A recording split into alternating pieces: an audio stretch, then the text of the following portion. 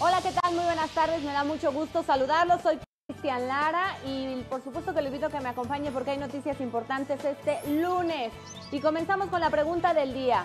Atención, a una semana de regreso a clases de los más pequeños, por supuesto, ¿qué tanto fomentamos en nuestros hijos la cultura del ahorro? Y por supuesto, ustedes papás, ¿qué porcentaje de útiles logramos reciclar? Los invitamos a participar, está Twitter, Instagram y también el Facebook, Hechos Meridiano Oficial. Este es el menú de los hechos. Hay cuatro funcionarios del sistema penitenciario inhabilitados por omisiones procesales. Esto por la fuga de siete reos hace unos meses.